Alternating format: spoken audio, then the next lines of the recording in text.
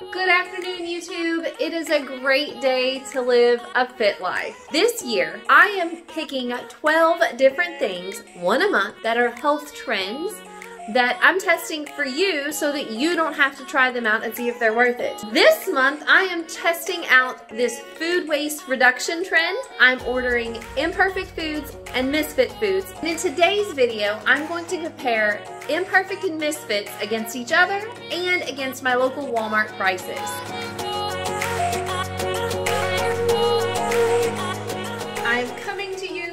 My new bedroom. This will be my new set once it's finished. It was supposed to be done by Christmas and it's February, we'll see.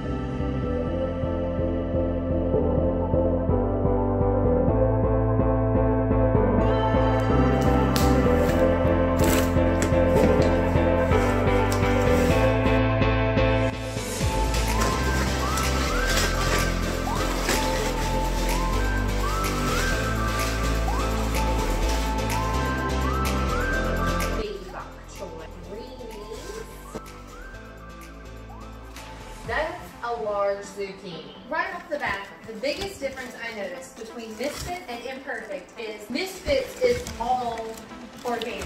I was choosing my selections with Imperfect that not all of them were organic. Misfits for me is like $25 every other week. Imperfect, you have to have a minimum order of $35.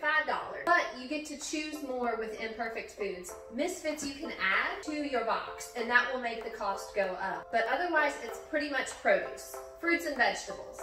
Imperfect was different because I could choose meats and pantry items. I can add pantry items to Misfits, but they weren't pantry items that I needed, so I didn't add them.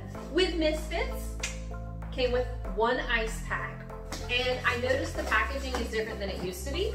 It is just corrugated cardboard stuff on the inside. These carrots are great. They're really sweet. All of the produce in here is very fresh. Now I'm gonna compare it to my imperfect box. Then we'll compare both boxes. This is actually the second day of this filming.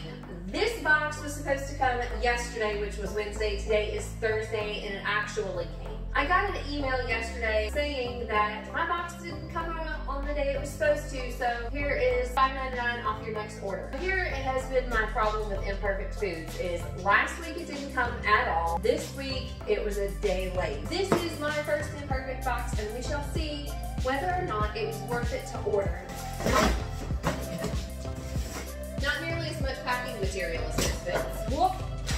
Here we go. I do want to show you something. My lemon is squeezed and cracked open. It's all leaked out. I hope that is my lemon juice all over the bottom of this.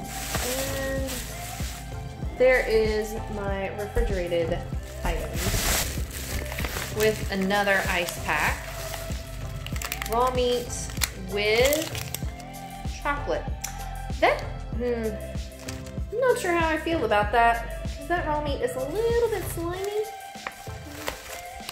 And that makes me very nervous. I'm really not sure how how I like Imperfect. Misfits and Imperfect both ship via FedEx. Misfits has never had a problem with their shipments through FedEx. But it seems like Imperfect keeps having problems and they say that it's FedEx's fault.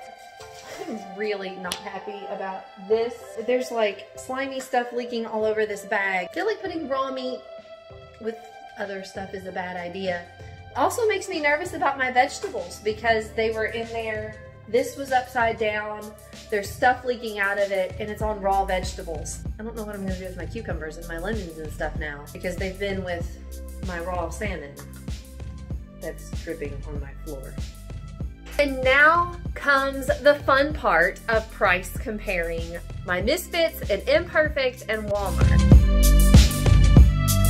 The organic zucchini squash, $1.48. For a bag of organic carrots from Walmart, it would have been $1.16. The Pink Lady apples were 89 cents each, making it a total for six, $5.34. For two bok choy, it would have been $4.42. Green beans from Walmart are $1.68. Eggplant, $1.78. One grapefruit is 89 cents. Cabbage, $2.52 for organic. The organic celery would have been $2.76 for that same bunch from Walmart. Two summer squash, it would have cost me $2.09. $2.96. My Misfits box, for everything that was included, if I had bought it from Walmart, it would have been $24.99. Some of the Walmart products were organic, but not all of them because my Walmart doesn't always have everything in organic. Misfits is, and that was only $23.99. So I would have saved a dollar to just buy it from Misfits and have it delivered to my house. The eight sweet potatoes were 3.80 from Imperfect, and the ones from Walmart were 3.12 for eight.